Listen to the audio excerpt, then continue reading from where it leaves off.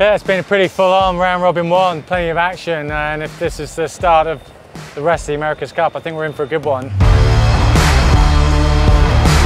For us, we've had some up and down moments. We've had some really close races, like a good dust up with the French today. Also some races where we struggled for a couple of reasons, but every day we're out here, we're learning more and more about this boat, how we can improve the performance, and that's what's critical as we move forwards for the competition.